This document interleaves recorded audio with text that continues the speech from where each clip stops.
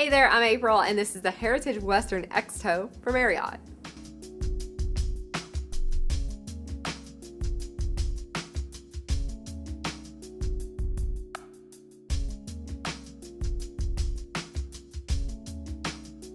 This boot is super stylish with a beautiful elongated toe and stunning embroidery that really pops with all the colors.